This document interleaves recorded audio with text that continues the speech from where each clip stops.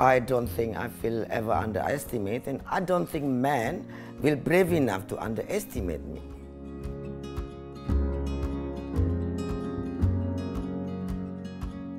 To be always with my children at all time, and I think I will never have that opportunity. So I try to do my best, spend most of time with them, but never been, but yeah, try to enjoy it. Take them some time to my job.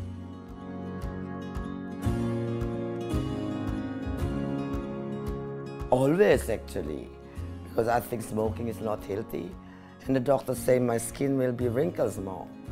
But I never win over that, so I, I sometimes try to, to give up, but I can't, so I give up on trying. But I will try again sometimes.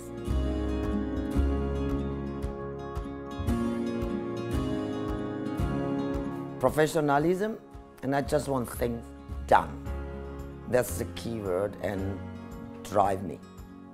I, I write the, the word that's called work has to be done. Done is done. That's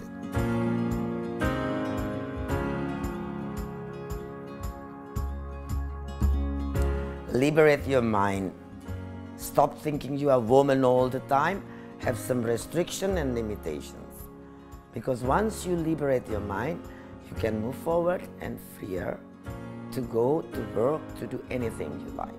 And you will do better once you feel better.